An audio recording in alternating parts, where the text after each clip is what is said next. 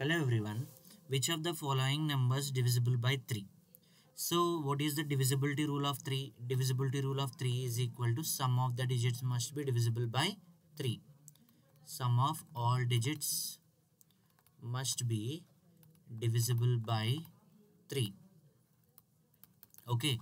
So then only the whole the total number will be divisible by 3. So let's check with one by one. First number is 192 so 192 means 1 plus 9 plus 2, 1 plus 9, 10, 10 plus 2 is 12. So 12 is divisible by 3. 12 is divisible by 3. So 192 can be divisible by 3. Let's check with the remaining numbers. 1660. So 1 plus 6 plus 6 plus 0. So 1 plus 6 plus 6 plus 0 you will get how much? 13.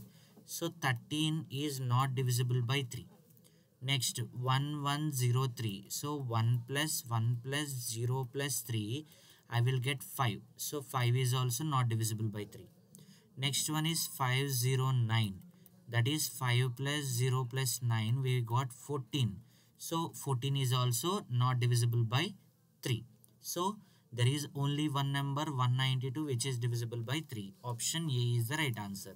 Thank you